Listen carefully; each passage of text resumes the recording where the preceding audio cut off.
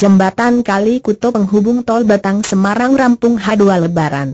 Kementerian Pekerjaan Umum dan Perumahan Rakyat, PUPR, menargetkan jembatan Kali Kuto bisa digunakan pada H2 Lebaran. Sebab, jembatan tersebut berperan penting dalam menghubungkan jalan tol Batang Semarang. Menteri PUPR Basuki Hadi Muljono mengatakan, pihaknya dan PT Jasa Marga, Persero, TBK tengah mempersiapkan rute pengalihan lalu lintas. Hal ini untuk mengantisipasi arus mudik sebelum pembangunan jembatan tersebut rampung. Sebelum bisa dilalui arus mudik, maka kendaraan akan diarahkan keluar Gringsing sejauh 500 meter untuk melintasi Kali Kuto dan masuk kembali ke tol menuju gerbang tol keluar di Kerapiak, Semarang. Untuk arus balik akan lebih lancar karena jembatan sudah bisa dilalui, kata Basuki dalam keterangan resminya, Minggu, 27 Mei 2018. Saat ini, pembangunan jembatan tersebut dilakukan perakitan langsung di lokasi. Dengan demikian, jembatan Kalikuto menjadi jembatan pelengkung baja pertama di Indonesia yang perakitannya tidak dilakukan di pabrik melainkan di lokasi pekerjaan.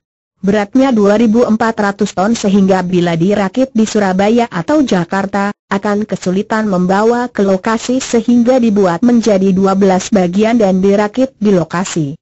Selain itu juga akan dikerjakan lantai jembatannya dengan target tanggal 13 Juni 2018 sudah bisa dilewati, ujarnya. Tol Batang Semarang pada saat rampung akhir 2018 konstruksi seluruhnya merupakan rigid pavement.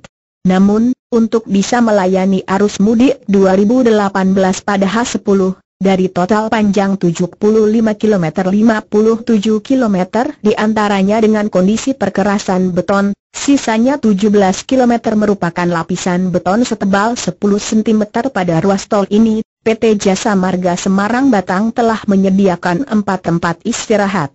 Fasilitas tempat istirahat berupa musala, toilet portable, tenda istirahat, tenda P3K dan SPBU Portable. Di antara lokasi tempat istirahat juga disediakan area parkir atau parking bay sebanyak empat lokasi. Untuk penerangan akan disediakan di tempat istirahat dan simpang susun termasuk menggunakan lampu tenaga matahari.